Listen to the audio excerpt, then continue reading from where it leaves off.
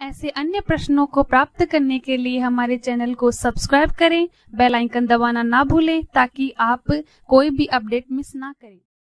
प्रश्न निम्नलिखित शब्दों का वाक्य में प्रयोग कीजिए, कॉम, सत्य, अंधेरा, परिश्रम, उत्तर, एक। काम, राम को स्कूल का काम पूरा करना चाहिए। दो, सत्य, सदा सत्य बोलना चाहिए। तीन, अंधेरा, शाम होते ही अंधेरा छाने लगता, चार।